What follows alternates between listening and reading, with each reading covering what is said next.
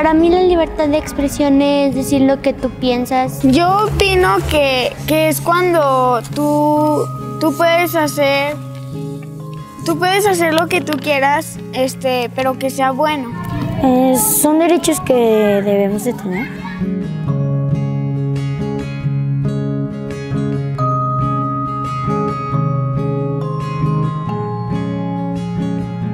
La libertad de expresión es un derecho que nosotros podemos decir. Por ejemplo, cuando tú tienes una idea y la quieres expresar. Como viene un video que uno está hablando mucho y no quiere, y no quiere dejar al otro que hable. Y como que todos tenemos derecho a, a, decir algo, pues en el video nada más él decía las cosas. Eso está mal porque, porque cada quien tiene que respetar, eh, tiene que respetar lo que van a decir los demás.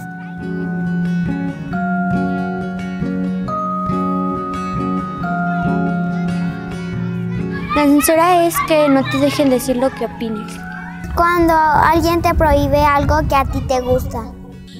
Por ejemplo, cuando alguien se expresa que lo quieren mucho o algo y alguien te dice, no le digas eso. También he escuchado que hay que respetar a los demás, pero si te caen mal, de todo no los pelees ni les digas mm, nada, solamente no les hagas caso.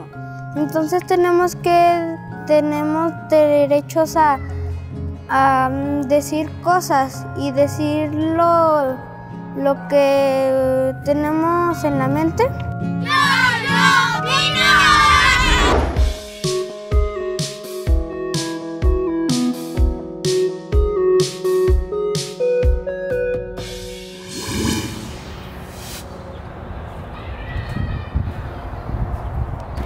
Me llamo Diego y a mí me gusta hacer diferentes cosas como salir a jugar fútbol y tocar la batería. A mí no me gusta la escuela. Bueno, sí me gusta.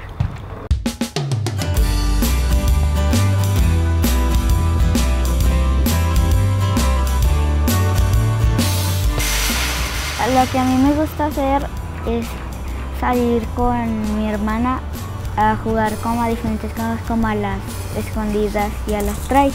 Mi hermana tiene 12 años y se llama Dana y me llevo más o menos con ella. Pues, cachada. La caché, la caché.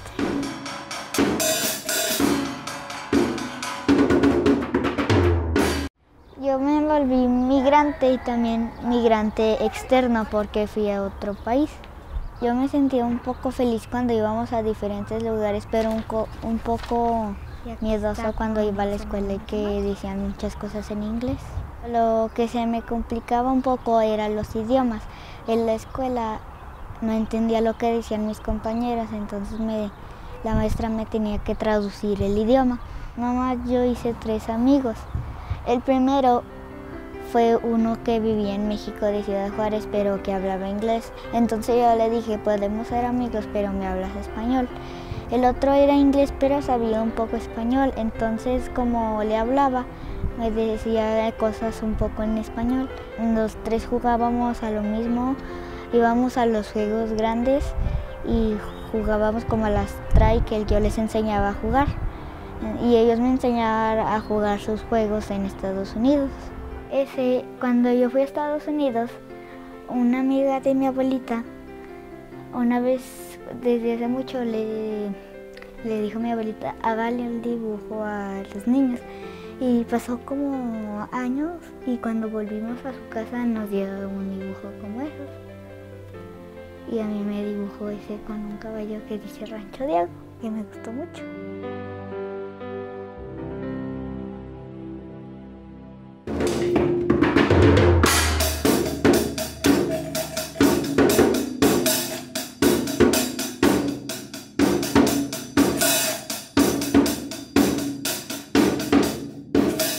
Yo tengo mi batería desde los 8 años, me la regaló mi abuelita en mi cumpleaños en Estados Unidos.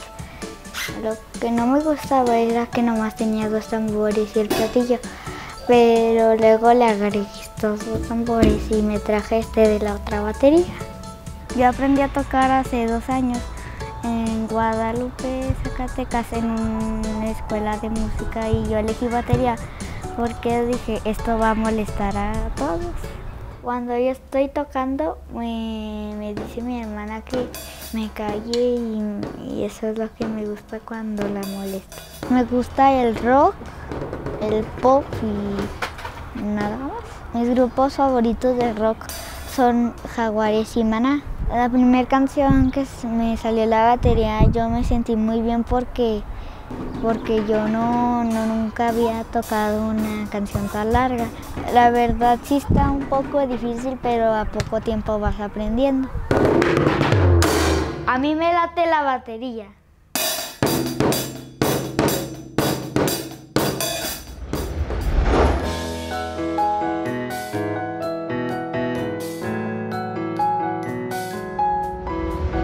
Yo soy Valeria y te invito a leer el libro Corazón, Diario de un Niño de Edmundo de Amicis.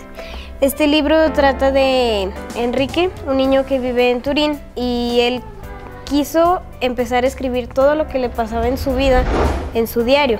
Los amigos, la escuela, todo en sí lo que le pasaba.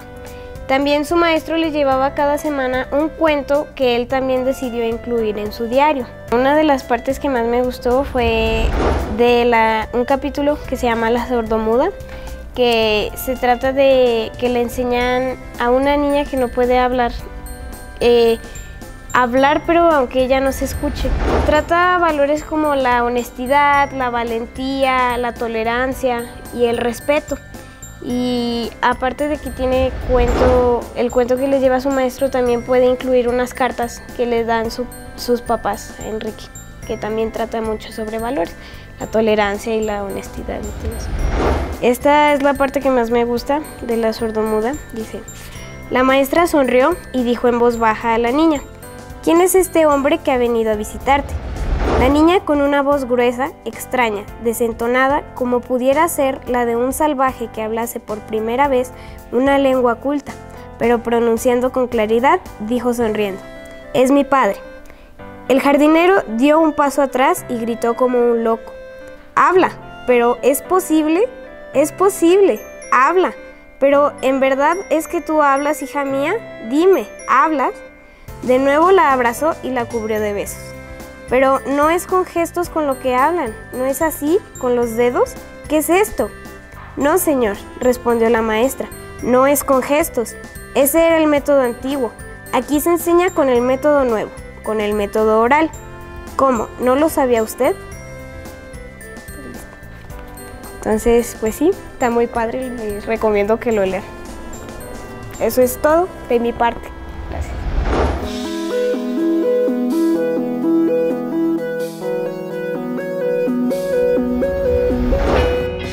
Y mi espacio.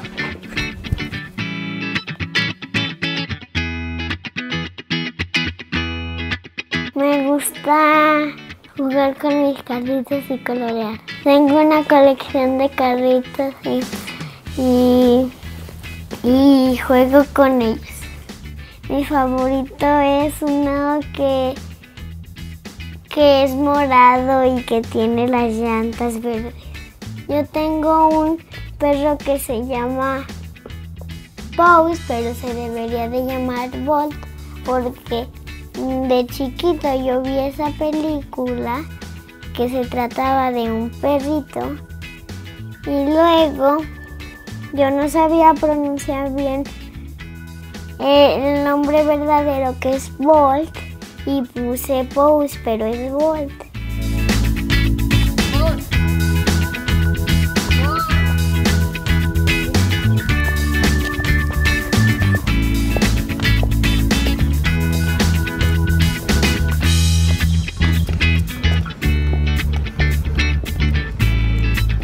Yo soy el único nieto, bueno, hombre, mm, este, por eso creo que me apapachan más, que me apapachan menos. Tengo tres hermanas, una está en Nueva York, otra está en aquí y otra está aquí. A mí me gusta leer.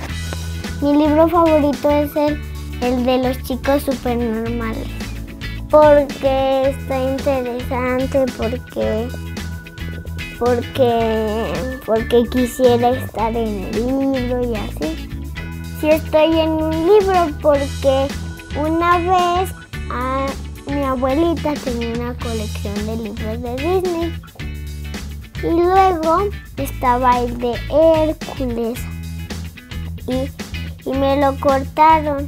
Y ahí estaba, y ahí decía Zeus. Y rápido, aunque está lenta la canción. Bueno, la que se llama ¿Qué más da ahora? Mejor.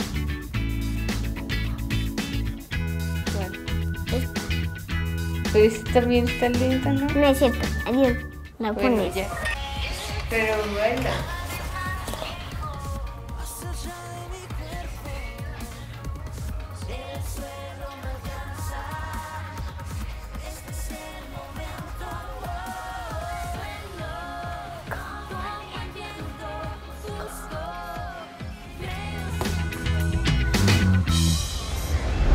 Zeus, hoy te voy a leer El maestro del disfraz de Jairo Vitrado. Para acercarme a las galletas me muevo como una sombra. Y para que no me vean, soy una lámpara. Oh, un topo bajo la alfombra. Una araña tras la puerta. Grrr, un león en la mesa para no comer verduras. Una tortuga bajo la, bajando la escalera.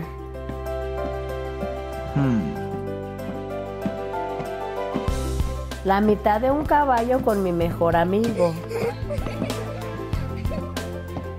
Pero también soy yo sin disfraz frente al espejo. Soy yo cuando ayudo a mamá. Y cuando camino a la escuela con mi hermanita. Yo soy, le digo al abuelo, que olvida quién soy. Ahora que ya me conocen, adivina dónde estoy. Te encontré.